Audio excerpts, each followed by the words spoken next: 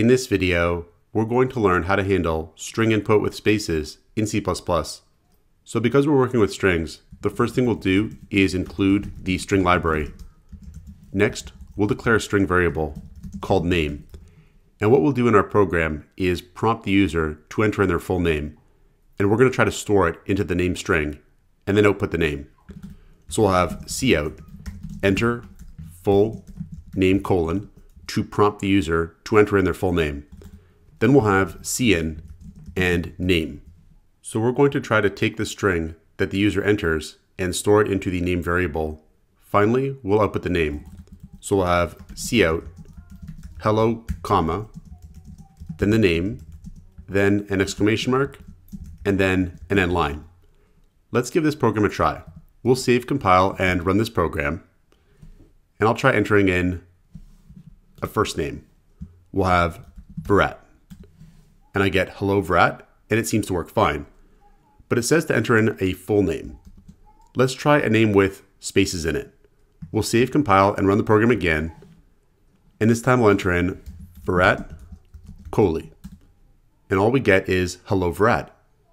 So what's happened is cin is going to stop reading the string at the first space.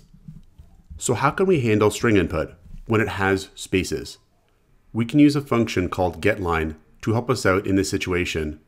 So instead of cin and name here, we're going to call getLine. We'll have getLine cin, and name.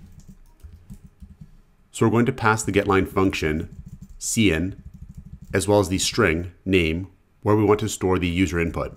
And if we save, compile, and run this version of the program, we can now enter in the full name Virat Kohli, and we get hello Virat Kohli, and the entire string has been stored into name.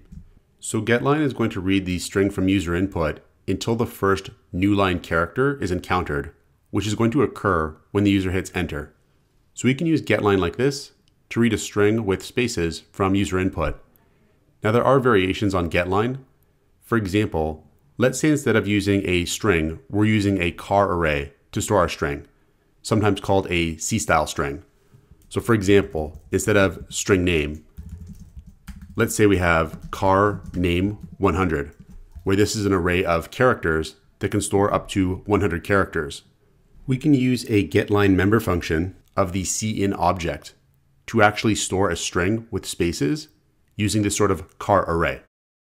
So here, we'll replace this with cin.getLine, and we pass in the name of the character array, in this case, name, and then the size of the character array.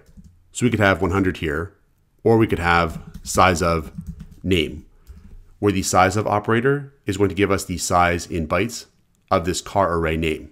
Either way will work. If we save, compile, and run this version of the program, we can again enter in Virat Kohli, and we'll get the correct behavior. We get hello Virat as our output. So these are two very common ways to accept string input with spaces in C++. Check out portfoliocourses.com, where we'll help you build a portfolio that will impress employers.